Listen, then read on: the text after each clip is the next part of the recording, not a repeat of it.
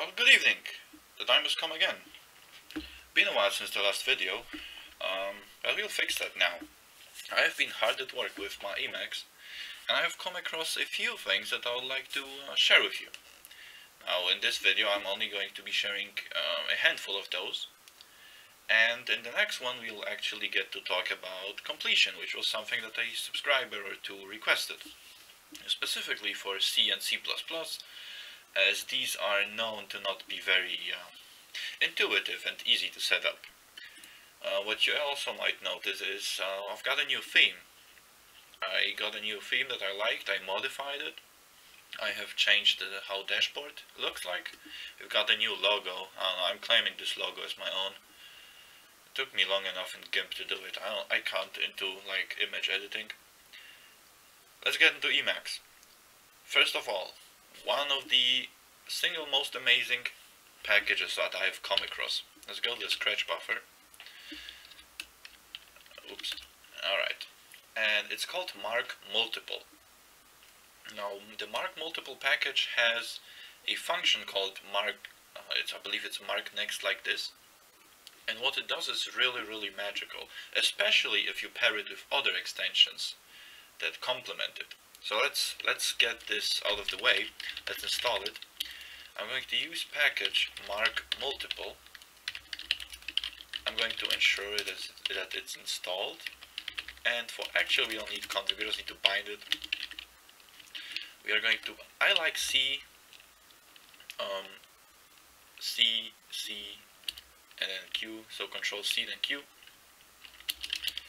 and the function is called mark next. I have it installed already so it auto completes.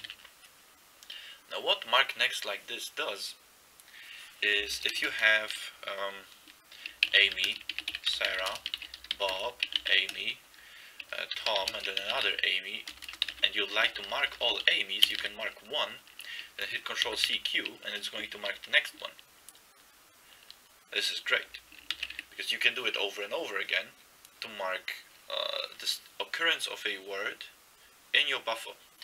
Why is this better than just, you know, search and replace? Because you have actual control over how many you'd like to mark. Now the reason why this is so good is because you now have multiple cursors to work with. Let's say Amy wasn't called Amy, let's say it was Deborah or Deborah. You can do that now. Now I really like this extension, I've been using this a lot because I've been actually developing stuff over the past week and I like it especially when coupled with another one. Let me show you another little package, it's called Expand Region. Now you can probably already guess what it does, but I'll show you anyways, because I really think that everybody should be using it. It's so, so useful. Again, we don't need to configure it, just bind it. I have it bound to CQ to complement my Control C and Q and uh, the function is called er slash expand region, just like this. What expand region does is whenever you are now let's let's do it in let's do it in actually in here, yeah. Let's say your cursor is on the N in bind. If you hit Control Q, it's going to mark bind. Hit it again, it's going to mark the next region. Do it again, it's going to mark everything inside of parentheses. Do it again, and it just highlights the entire block. Why is this good? As I mentioned, uh, if you couple both of those, you're going to have this. Or, uh, actually, yeah, this isn't code, I can just do it once.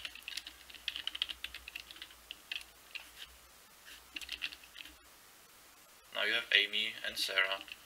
Because uh, the one thing that I wanted to show here, but I've done it too quickly, so I kind of goofed, is this actually really messes up with the undo tree. So if you are big on like the undo tree and you have like a very elaborate setup going on, uh, it kind of messes up undo tree sometimes. The point is, you actually can just have multiple cursors now at the, um, the spots where you have multiple occurrences of a single word or a code block, a variable name, uh, whatever you might have. So you don't, I don't know, maybe Amy is David now. Who knows? It's 2018 now, right? uh, cheap jokes aside, this is one of those things that I really have been using all the time lately. And I really felt like sharing this with you because those are very, very tiny extensions. Uh, they don't get in your way or anything. But they do work, and they do work very well. And I can imagine these will be useful for when you are, you know, just writing with one big, large file and you'd like to rename a variable, rename a constant, change a name in a table. You know, these work in all the buffers. You can even use them in red if you really wanted to. You know, just one of those things. But I wanted to show you more. There is something that we have messed up. Uh, let me search for rainbow. A subscriber pointed this out to me. I never really noticed. I mean, I did notice. It's just that I wasn't sure what I was, what I was supposed to think of this. Uh, uh, the way we have rainbow mode installed and set up, uh, it doesn't work. It doesn't work and the reason is that rainbow mode is not a global mode. It is a mode that you enable on a per buffer basis. Okay? Uh, that sucks. Well, it doesn't really suck because we can fix, fix it very easily. I have actually fixed this in my live configuration on my GitHub. Let me show you something. So if you have rainbow mode, here let's, uh, no, as you can see, this, I, I mean, it works for me because I have it set up. It wouldn't work for you. That's kind of the, kind of the thing. Because if we run rainbow mode now, it's disabled. This is what you would have if you are using this snippet of code. It's not going to be enabled. It will be only be enabled for the first buffer that you use when you launch Emacs, which sucks. The way we can fix this is instead of having just, you know, the minor mode being enabled, we need to add a so-called hook. Uh, you like that? I hit AH and then hit tab? Yeah, I'll make a video on this as well. So, I want to make a hook. Now, what is a hook? Uh, let me finish this up real... I should have hit tab.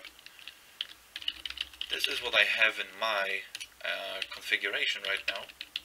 Now what a hook does, or this one specifically, whenever uh, this is called prog mode hook, which is called every time you actually uh, visit a buffer that is for programming. So any programming language you enter, this hook gets uh, called. And when this hook gets called, well, it doesn't really get called, it's just executed. Then this uh, function will be called. So whenever we enter programming mode, let me evaluate this. Whenever we enter pro programming mode, rainbow mode will be enabled now. So if you do something like, I don't know, test Lua, if we have a color here, this one actually is going to work, which is great. This is what we wanted to have from the get-go. This is exactly what we needed. Now this is fixed now, so there's that. So if you are using rainbow mode, if you just copy pasted what I said, please fix this, my bad. I did not know that rainbow mode is not global. There's another mode that I really like that I have added. I believe I have it, let me check. Yeah, pretty symbols. Um, this is pretty great. I don't know why I like it so much, this doesn't really do much, but uh, it's useful. So what you have now is when I type in, say, lambda, it turns the word into a symbol. When I do OR, it turns the word into a symbol, same for AND, same for like uh, this. It makes the code a little bit nicer. And all you have to do is, you know, this. Just use package, pretty mode, and then call it globally, or you can add a hook.